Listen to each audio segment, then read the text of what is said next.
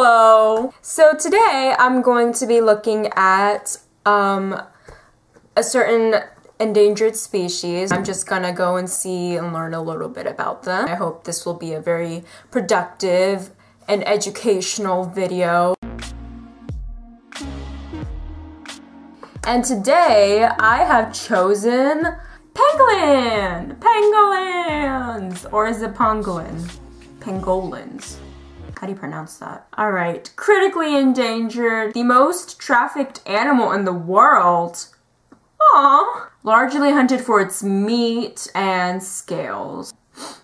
There are eight different species of pangolin across two continents, Asia and Africa. They vary from vulnerable to critically endangered. Thank you to all the people are also known as scaly anteaters. Yeah, looks like a scaly anteater. Oh, they play in the mud! Oh, it's adorable. This is news. I need to look at it. Privacy error. How dare you? Let's find out more about them, but not before looking at the images. Does it not have ears? Is that its ear? Look at that hole. It's got adorable eyes and a cute little nose. Oh, it's so cute. That is cool. That looks like a freaking dragon. Look at that. The scales and it's like curled up. That is, eh. it looks like an old lady's. Oh, excuse me. Excuse me. Do you have any more I can play in? Five arrested for pangolin possession and pangolin porn. My god. That was a sight I didn't really need to see. China makes its biggest seizure of endangered pangolin scales. Are estimated to have come from at least 20,000 nocturnal pangolins are in high demand in countries like China and Vietnam. Why you gotta attack their scales? Why are they in high demand? Who?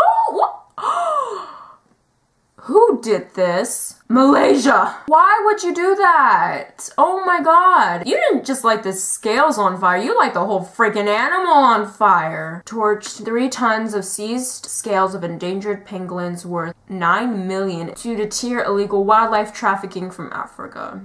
Oh, I hope you're happy. In traditional Chinese medicine, the scales are used for a variety of purposes. A variety of purposes. Can you please elaborate? Medicinal use. Oh, it's used in a lot of nations. Look at that. Nigeria, Ghana, Botswana, Syria.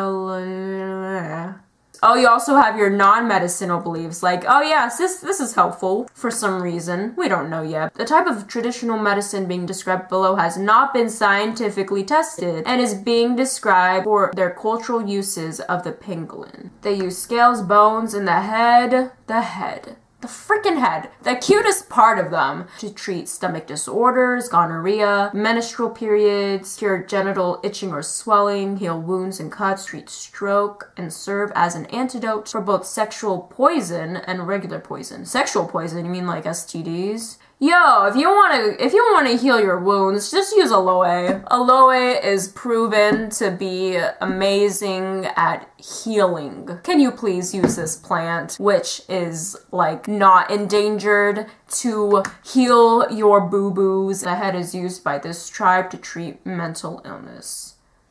But how? Why can't we just send a bunch of our countertop medicine over and be like, hey, here you go. Parts of the pangolin are used for ethnomedicine, such as meat, flesh, and eyes. Ethnomedicine is a study or comparison of traditional medicine based on bioactive compounds in plants and animals. Countries with no access to actual Western medicines have to resort to using nature, such as aloe.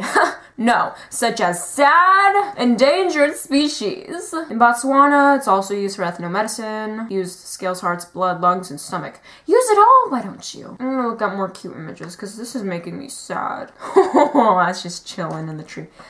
Oh, that's cute. Just to stumble upon this one day. It has such a small head, but a big ass body and even a bigger ass tail. It is crazy. I just, it's, it's cool. Oh, yes. I love how its tail just curves around the tree. I like how it curves in general. It's so cool. World, there's a World Pangolin Day? I'm gonna celebrate this day. When threatened, a pangolin rolls up in a ball like a hedgehog.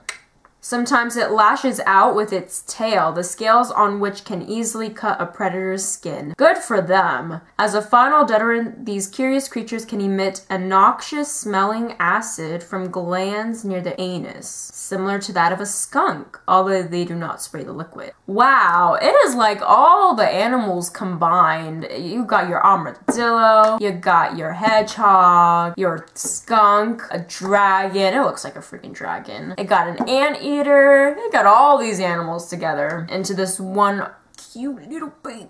Originated some 80 million years ago.